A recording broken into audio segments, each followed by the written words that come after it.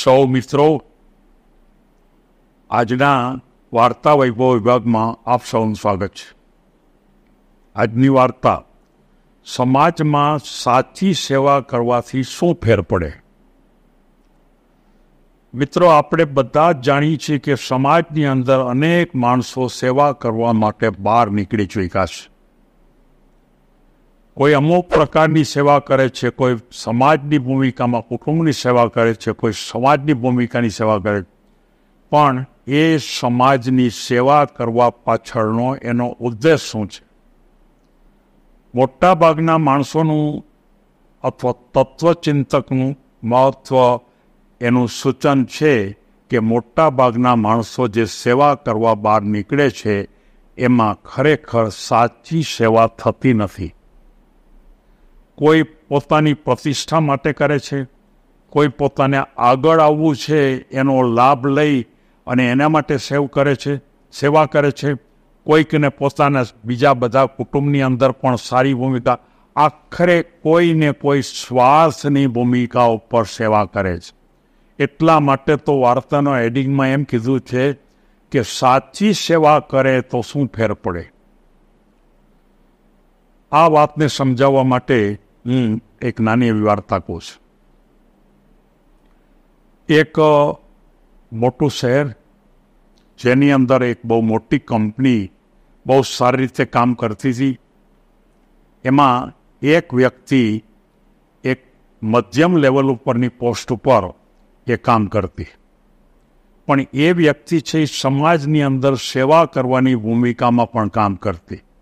અને સાચી સેવા કરતી એ ભૂમિકાને મારે સમજાવવી છે. એટલે કે ક્યારેક ક્યારેક એવું બને કે કોઈ બાજુમાં કોઈ એકાદ વ્યક્તિ રહેતા હોય અને દવાખાને લઈ જવું હોય તો એ પોતે લઈ જાય. કદાચ કોઈને જમવાનું ન મળ્યું હોય તો બહારથી લઈને પણ જમવાનું આપે. ક્યારેક ક્યારેક માનો કે કોઈ પડી ગયું તો એને હોસ્પિટલે પણ પહોંચાડી દે. અને નાની નાની આવી સેવા કરે કે જેની અંદર કોઈ પૈસાનો ખર્ચ કરવાની વાત આવે એ પ્રકારની વાત નહીં, કારણ કે એ તો પોતે સામાન્ય હતો, સામાન્ય પોસ્ટ પર હતો. પણ આવી સેવાને કારણે એ વારંવાર પોતાની નોકરી ઉપર પહોંચવામાં મોડો પડે. ક્યારેક કોઈ રસ્તામાં કોઈ પડી ગયું એટલે ઊભા કરીને હોસ્પિટલમાં લઈ જવું પડે એટલે એ મોડા, મોડો થાય. અને આ વાત એના બોસને ગમતી નહીં. અને એ બોસ વારંવાર એમ કહેતા કે જ્યારે મોડો પડે ત્યારે એમ કહેશે કે તમે કોઈને કોઈ વાત ઉપજાવશો, કોઈને કોઈ વાર્તા નક્કી કરશો, કલ્પના કરીને અને આજે મોડા થયા છે એનું કારણ મને આપશો. મને આ વાત પસંદ નથી, બોસ એમ કહેતા. અને એનાથી ફેરે શું પડી જવાનો છે? કાંઈ ફેર નથી પડવાનો, એમ બોસ વારંવાર કહેતા કે સમાજની આવી સેવા કરવાથી કોઈ ફેર નથી પડવાનો. એ તો પોતે પોતાનો પ્રશ્ન ઉકેલી લે. આ વ્યક્તિને એના મનમાં વાત ઉતરતી નહોતી. કારણ કે એનું ઘડતર જ એ પ્રકારનું થયું હતું. અને એને ખબર જ છે કે મારે પહોંચવું જોઈએ સમયમાં, પણ એવી પરિસ્થિતિમાં મુકાઈ જાય કે એને ત્યાં પહોંચવું અઘરું પડે ને પહોંચી જ શકે નહીં. બરોબર એક વખતે બોસને એમ થયું કે હવે જો આ વખતે મોડો પડે, તો એની ઉપર એક્શન લેવા. આવું એણે નક્કી કર્યું. બીજા બધા સમયસર આવતા હોય, કંપની હોય તો બધાને એમ થાય એ મોડો આવે, એને કોઈ કેમ કહેતા નથી. હકીકતમાં એ કોઈને કોઈક પ્રકારના કામમાં હતા. ખરેખર આપણે જો જોઈએ તો પોતાની ડ્યુટી તો પહેલાં જ છે, પણ ડ્યુટી કરતાં પણ સમાજની ભૂમિકા ઉપર જેને દરિદ્ર નારાયણની ભૂમિકા ઉપર અથવા આકસ્મિક બનેલી ભૂમિકા ઉપર કંઈક ને કંઈક સેવા કરવાની હોય ત્યારે કદાચ ડ્યુટી પણ બીજા સ્થાન ઉપર આવી જાય એમ આપણને મનોવિજ્ઞાન કહે છે.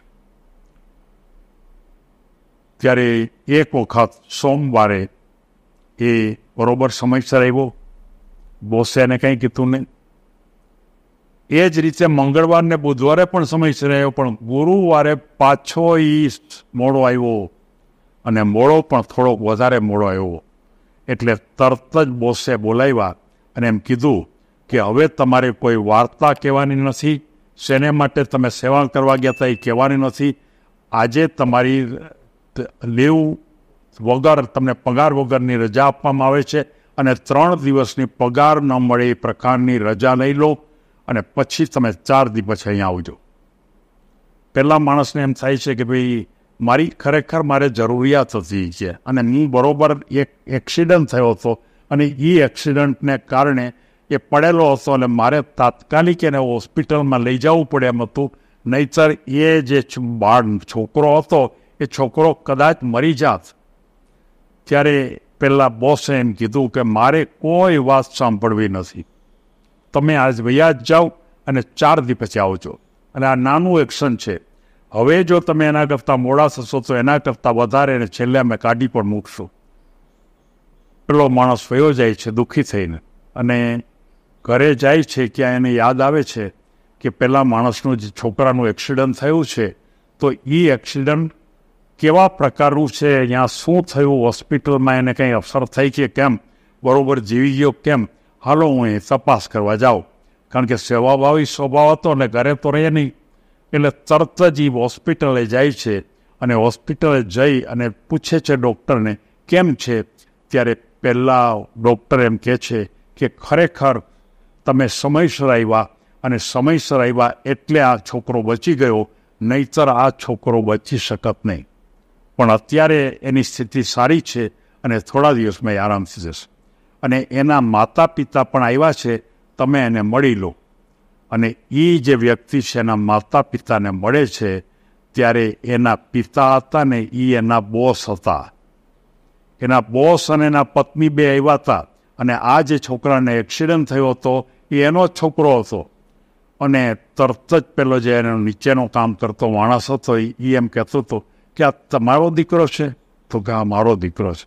અને ડૉક્ટરે એમ કીધું કે, જો સમયસર અહીં ન પહોંચ્યા હોત, તો કદાચ આ દીકરો જીવત નહીં.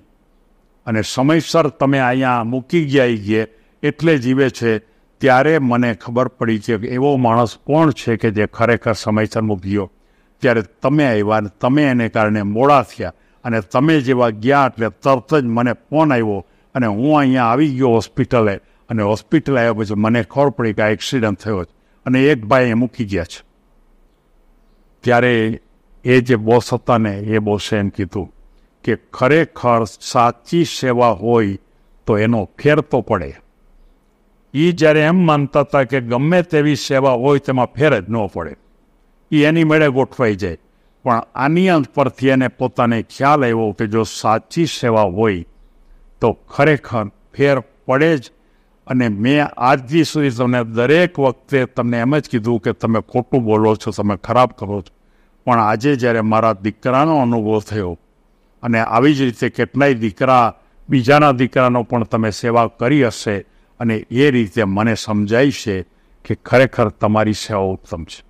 મિત્રો, મારે આ વાર્તા કહેવા પાછળનો ખ્યાલ એ છે કે સેવાભાવી માણસથી પોતાના જીવનની અંદર ક્યારેક ક્યારેક પોતાની ડ્યુટીમાં ભૂલ ખાઈ જાય. ક્યારેક ક્યારેક ઘરે પણ મોડા પહોંચે છે. ઘરે પણ ફરિયાદ કરતા હોય કે તમે લોકો બધાની સેવા કરો છો અને ઘરે મોડા હોય. પણ હકીકતમાં સાચી સેવાની ભૂમિકા તો દરેક માણસે કરવી જોઈએ. એને કારણે કદાચ ડ્યુટીમાં કદાચ તકલીફ પડે, કદાચ તમારે રજા નહીં લેવી પડે કે કદાચ તમને નોકરીમાંથી કાઢી મૂકે, પણ જો પરિસ્થિતિ એવા પ્રકારની હોય કે જેમાં જીવન મરણનો પ્રશ્ન હોય, ત્યારે તમારું સૌથી પહેલું કામ છે સેવાનું છે.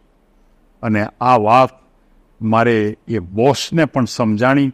બોસે પણ નક્કી કર્યું કે ખરેખર સેવાની ભૂમિકા છે એ ખરેખર સૌથી ઊંચી છે. આપણા સૌ મિત્રોને આ વાત સમજાય. એટલા માટે મેં એક ઉદાહરણના રૂપમાં વાર્તા સમજાવી છે. સૌને ધન્યવાદ.